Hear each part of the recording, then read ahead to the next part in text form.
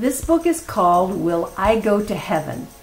And my name is Jeannie St. John Taylor. I wrote and illustrated this book. Illustrated means I drew the pictures. And I did it for my grandchildren and for you, since I want everyone to know how they can be sure they will go to heaven. Ezra pushed against the giant gate made of a single pearl. It would not move. He looked for a handle so he could pull the gate open. He could not find one. He tried rolling the gate. The pearl did not budge. Finally, he stopped and looked up at the gate, his heart fluttering faster than a hummingbird's wings. How would he get into heaven?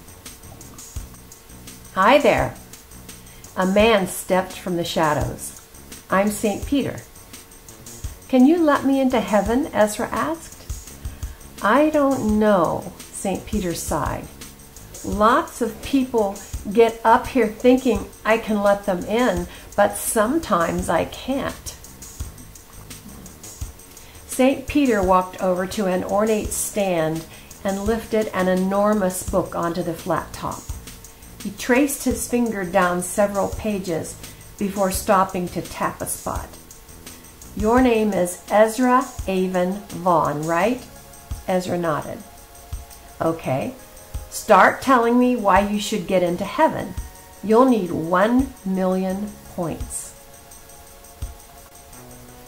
A million points? Ezra swallowed hard. Well, I protected my sister from a bully. Excellent. St. Peter located a spot near the middle of the page. Got it. Five points for protecting your sister. I visited Grandpa in the hospital. 100 points for going to see him, plus 10 extra because you were afraid of hospitals and visited him anyway. How did you know I was scared of hospitals? St. Peter smiled. God knows your thoughts and records them all right here in his book. Mommy asked who broke her vase, I admit it, I did it. Ah, St. Peter nodded approvingly. You could have blamed it on the dog or your sister, but you chose to tell the truth. He noted this spot in God's book. Truth is so important to God that He commanded us not to lie in the Ten Commandments. Six points. Fear tugged at Ezra's heart. He was not earning enough points. When the neighbor's house caught fire, I warned them and no one got hurt. St. Peter beamed. Because of you, no one died. They would have died? Wow. That's what it says here. Good job. 100 points. Just a 100 points? Ezra was not very good at math, but he was smart enough to know he would fall far short of 1 million points. Please, sir, he said, may I go back to Earth and earn more points? St. Peter looked very, very sad. I wish I could give you another chance, but no one gets a do-over. What you do in your life determines whether you will get into heaven or not. Once you are here, it's too late to earn more points. But I did more, Ezra said. I tithed my allowance, three points. I picked flowers for mommy, two points. I fed the dog, two points. I memorized scripture, five points.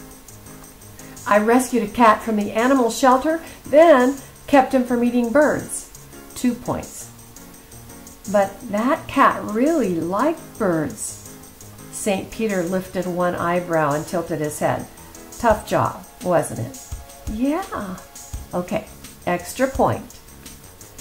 I put my toys away every night. Two points. I said my prayers every morning. Five points. I said prayers at bedtime and before meals. Ten points total. Ezra was shaking so hard his knees threatened to buckle. How many points do I have now? Less than 500, St. Peter answered. And I need one million. Fighting panic, Ezra rattled off good works as fast as he could think of them. I sharpened pencils for my teacher.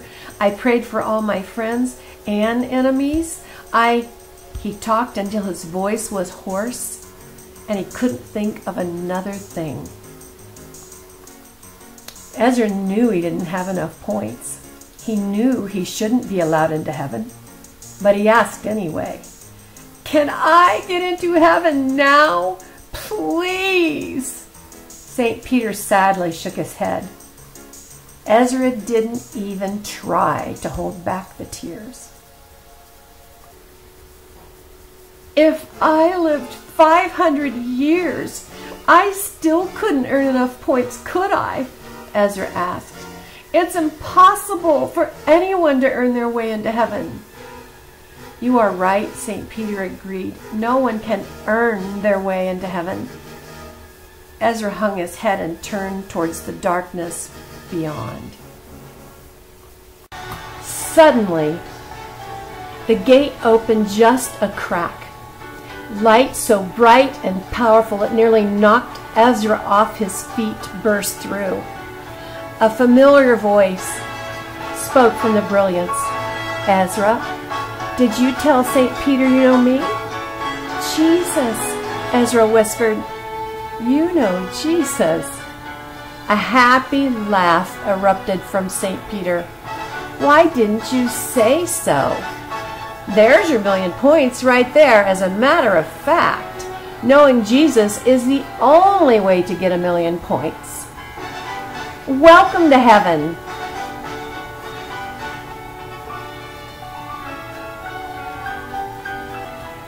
God has made it very easy for us to know how to go to heaven.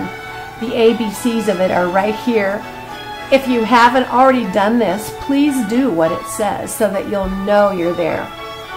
He has done that because He wants us to know that we can go see Him someday.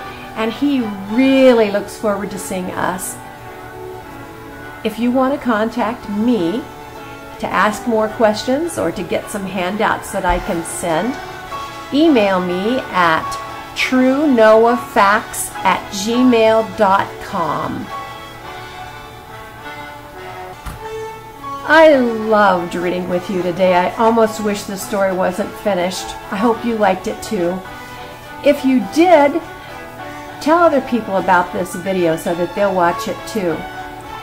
And I am looking forward to seeing you in heaven. I love you.